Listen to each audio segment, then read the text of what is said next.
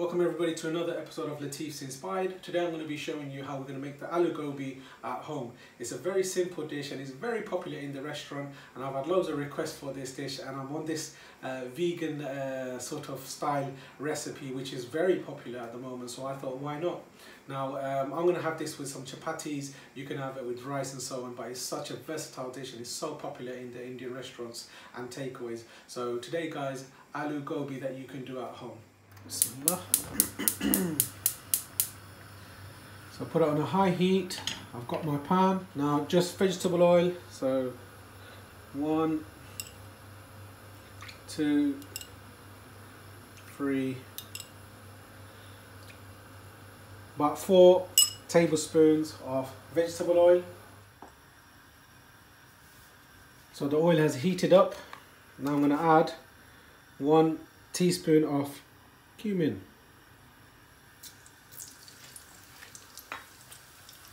Also I'm going to add three Bangladeshi bay leaf which is the tezpata.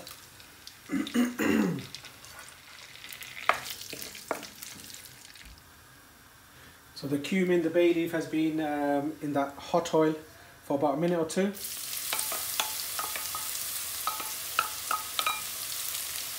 That's one onion diced up, just whacked it in.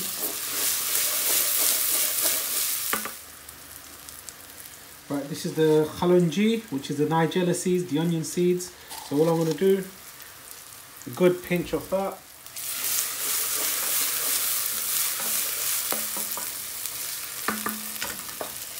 that toastiness is just coming through, beautiful. Now the garlic and ginger paste that I normally have, so this is about two teaspoons.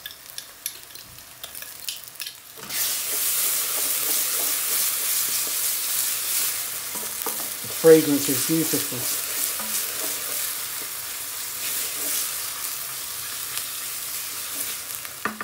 Just going to add a splash of water.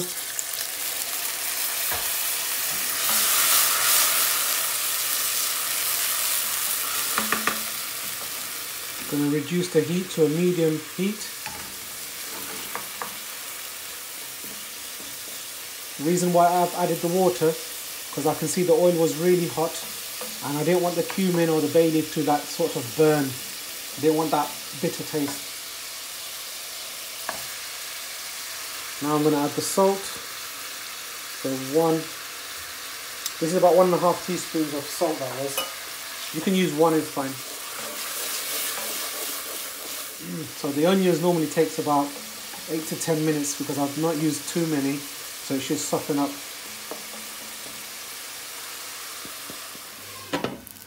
lid on.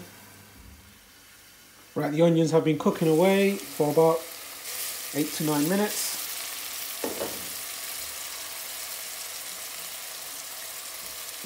Right, I'm going to add the spices, which are uh, one teaspoon of chili powder, Kashmiri chili powder that is. I want it to be spicy but medium. You can use half if you don't like it too hot.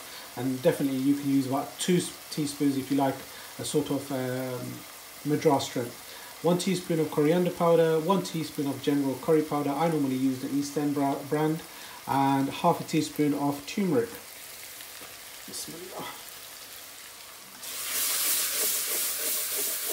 The fragrance just hits you as soon as that hits the oil, the spices, that is beautiful. There you go. For all the flavors, this is the tomato puree. I normally have this on my channel, so have a look. It's got the kasuri methi, ginger, garlic, quite a lot of ingredients on here. So that's one tablespoon. This is going to be like a thickener and it also makes the spices come together. There we go, the onions are softening up beautifully. Now also to this, these are two tomatoes, very small sized. Um, I've diced up one of them to make the saucer thickener and I'm going to use this as wedges sort of towards the end.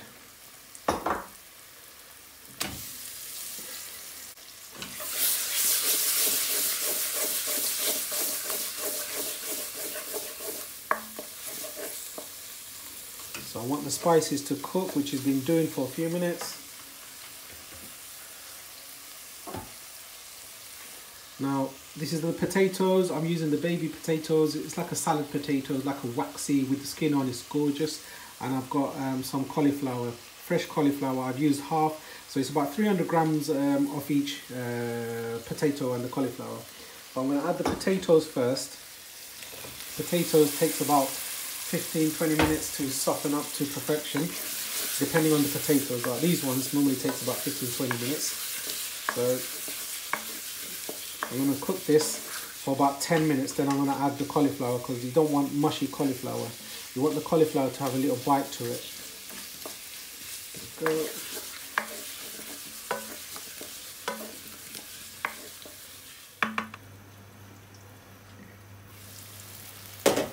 Right, it's been a few minutes, the potato's been cooking away.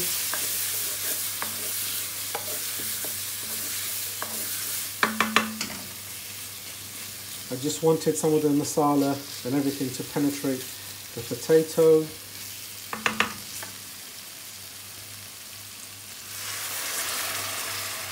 I've just used about a cup of water because this is going to help the potatoes soften up. Now some people what they do is they boil the potatoes or steam the potatoes and cauliflowers and add it in but I believe uh, this is better to cook it this way because the potatoes release its uh, vegetable stock sort of to the water. So it creates a fantastic uh, flavor and flavor is the most important thing. There you go. Now I'm going to put it on a medium high heat. Whack the lid back on. And now I'm going to give it a good 10 minutes which I need a bit of patience Right, the potato's been cooking away for the last 10 minutes. Beautiful, there you go. Sauce has thickened up amazingly. Now I cooked it on a high heat uh, for about a good five to six minutes. Then I put it on a medium low heat because the, obviously the water was evaporating quickly. So it's been a good 10 minutes. Now I'm going to add the cauliflowers.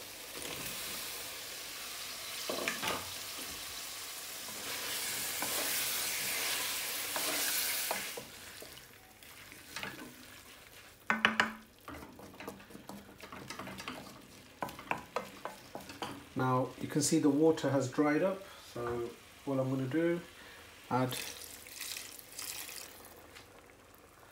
that was another cup of water put the gas on a high heat and what's going to happen is the water is going to reduce back down to the correct consistency that I want. So not a very saucy dish but a nice thick sauce as you would get in the restaurants.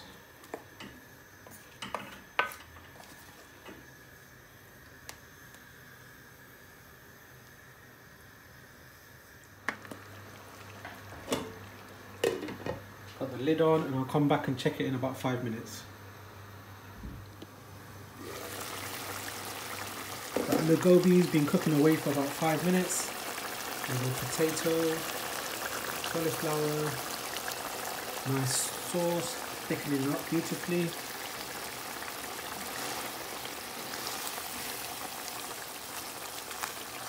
Beautiful.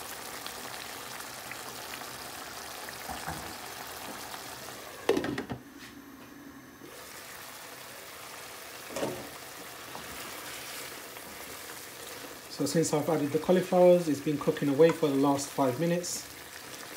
And now I'm going to put it on a low heat just to soften up the cauliflowers. Potatoes are about ready. So on a low heat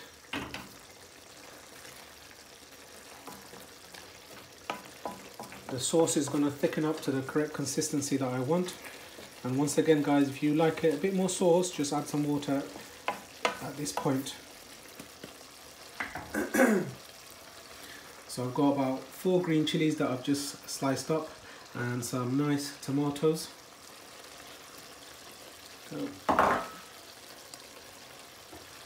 Some nice handful of coriander that goes in.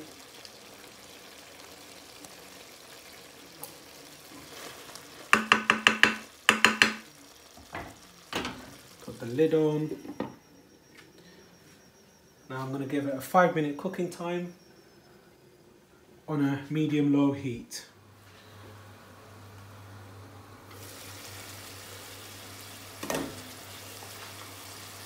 As you can see, it's got a nice sauce and the oil has come to the top.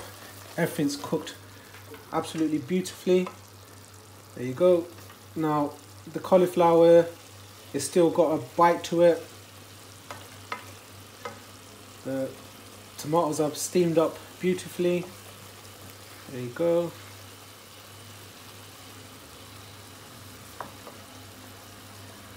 Oopsie. There you go. Look at this cauliflower. Held its shape. Now don't overcook cauliflowers. It has a weird smell to it and it's just not nice. Whereas this is going to have a nice bite to it. It's going to be beautiful in flavour. And what you can do now to make it even more flavoursome is add da, da, da, pure ghee. But because I'm a good boy, I'm keeping this recipe nice and vegan for you guys. So there you go.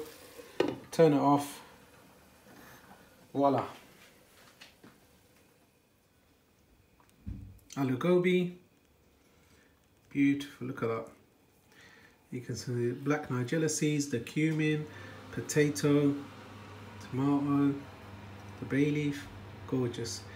And once again, if you've enjoyed this vegan recipe, don't forget to like, share and subscribe for more fantastic videos. And thanks for supporting me.